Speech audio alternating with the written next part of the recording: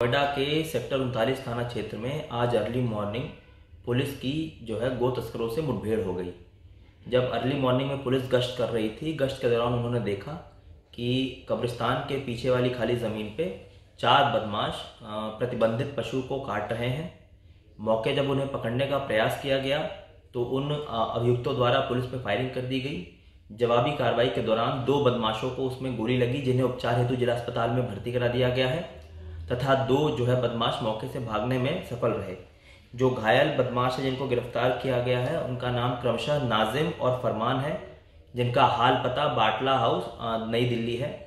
बाकी इनका और आपराधिक इतिहास, हम इनके मूल पते से जानकारी कर रहे हैं उसकी। ये जो अभियुक्त हैं, इनके पास से अवैध तमंचा ज़िंदा कारतूस व खोखे बरामद हुए हैं। इसके अतिरिक्त एक ऑटो बरामद हुआ है तथा जो प्रतिबंधित गोवंश है।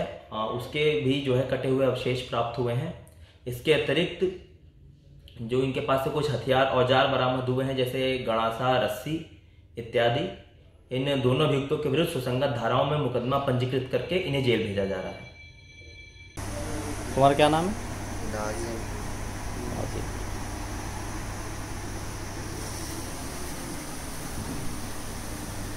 तुम्हारा फरमान फरमान कहाँ के रहने वाले यूपी कहाँ? और तुम? मेरठ।